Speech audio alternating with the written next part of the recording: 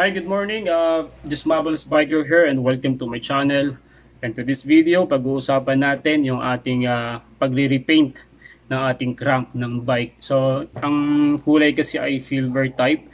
So, mas gusto ko siya ibagay doon sa isang uh, kulay black na glossy type. So, may binili tayo sa Shopee at ang ating binili sa Shopee ay ito. Yan.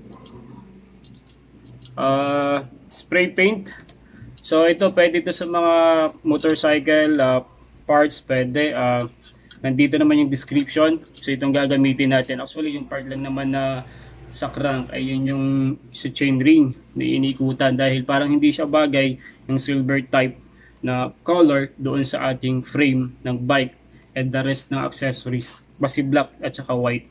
So papakita ko sa inyo, napakasimple lang ng paglalagay natin. Uh, odorless naman to may amoy lang sa umpisa pero after 2 uh, to 3 minutes or maximum 5 minutes nawawala na rin siya.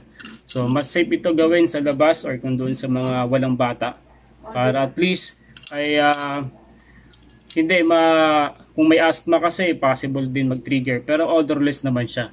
So gagawin natin, uh, papakita ko sa inyo itong ating uh, spray paint, high gloss, strong adhesion, durable color na ang ating ano bang tatak na ito? Duson. Yan. Duson. Mura lang naman to. Nabili ko to ay uh, ah, 85 plus yung shipping fee. Pero kung darating sa darating ng mga 888, 99, 10, 10, 11, 11, pwede rin naman mag-free shipping. Mag-aantay nga lang. So itong gagawin natin,